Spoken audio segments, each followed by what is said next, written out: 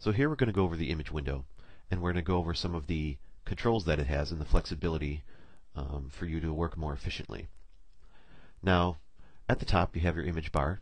It has your file name, the percent of which you're zoomed in on, and what layer you're selected, and then your um, your color depth. So you can see when I click on background, the background changes 8 bits per channel. It's a viewed at 100%.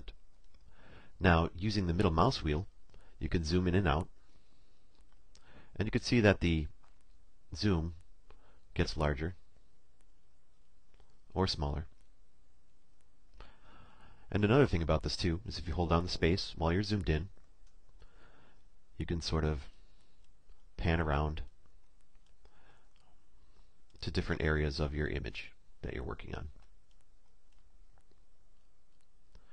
Zooming out, you can also change the page size using Control and the plus and minus. So if you hold down Control or Command, it'll get larger in the amount of 100%. So you can see we're at 400, 500, 3, 2, 1. Now you can also do this by doing Control and Alt or Command and Alt and the plus and minus. And that's going to actually change the scale of the page, like you could see here. So it's 200%, but it made the page larger too. 300, 200, 100, 66.7, 50. And so that just helps you to be a little more flexible while you're working on your image. Another thing you could do is use the navigator. And the navigator is a little bit of a mini representation of the image that you're working on. If you don't know where the navigator is located, it's under Window, Navigator, or you just pop open your palette. And you can see here that in the navigator, right now I'm looking at 100% of my image, so this red square goes around the entire image. Now if we happen to use our middle mouse wheel, actually zoom in, you can see that the square is changing.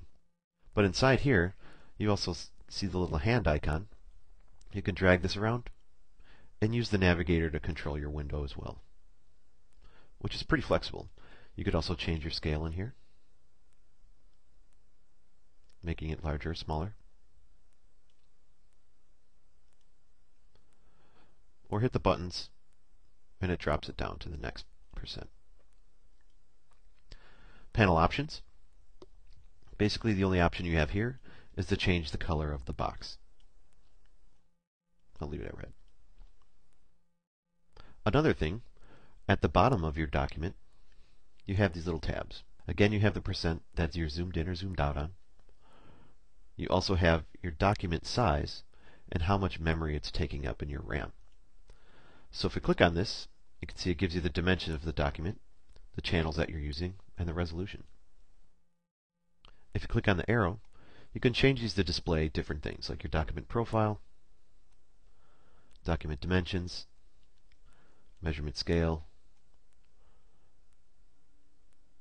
efficiency, current tool, so on and so forth. But it's just another thing to help you customize to your workflow. Now another cool thing about the image window is the full screen mode. Now there's basically two full screen modes, and it's accessible by the F key. So by hitting F, your image will go full screen. You still have the ability to zoom, pan, use the navigator, and all that jazz. Now if you hit it again, sort of goes into expert mode, where it's just the image, and you're totally reliant on hotkeys. And uh, again, it does all the same thing. You could zoom, pan, whatever. Hitting F again takes you out of that mode. Also, there's the new feature of the rotate canvas, and it's a very handy feature that I do like. You can access that by the toolbar, it's little hand with the rotation, or you can hit R, and it brings up your icon. Now, if you click and just drag left and right, you can see that it's rotating your canvas. And in the options bar, it gives you the rotation angle, which you can edit that here. You could type in a number if you want, like 40, or You can rotate it here. You can have the reset view. So if you rotate it, hit reset, and it'll always snap you back to the proper rotation. If you hold down shift and drag, it'll rotate in increments of 15 degrees. Go ahead and reset your view, and it sets you back.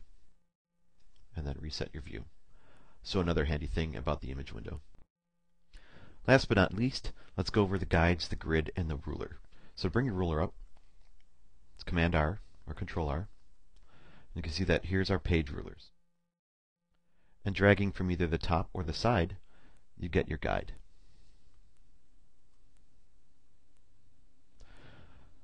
So setting up guides are pretty useful if you're laying things out and you want to space them out properly and all that jazz.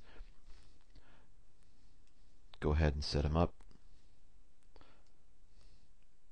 And you could drag them wherever you want.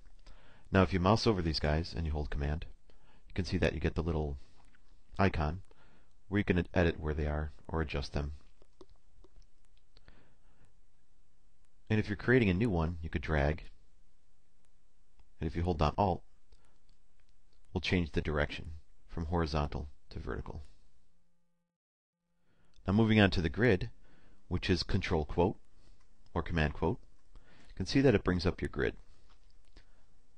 Now, we set the size of our grid using our preferences earlier. If you ever want to go back to that and edit the size of your grid and all the settings for that, again, Control K, Units and Rulers, or Guides, Grid, and Slices. You can change the colors again. And your smart guides, your grid, you could set it however you'd like it. If you want to toggle all of your different guides, grids, rulers, whatnot. That would be command quote, hides your guides. Command R hides your rulers. And command quote hides your grid. And uh, just a couple things that I wanted to go over that you can uh, help your workflow be a little more efficient. And at some point you're going to have to resize your image or resize your canvas and you could do that by going to Image, image size, canvas size, and then there's image rotation. So the image size, if we take a look at this dialog box here, we have our pixel dimensions and then our file size, and then your width and our height. And you could type in numbers here. And you could also change percent, pixels, or you can control this by the document size as well, by percent, inches, so on and so forth. And you can scale it down from there. Now you can scale the styles, which means if you have layer styles applied, that they will scale down with the image and try to match the resolution. You have constrained proportions, which if you click this, you'll see that our locks disappear. So you can scale it with a different aspect ratio or numbers to like squish it down. If we take a look there, you can see what that does.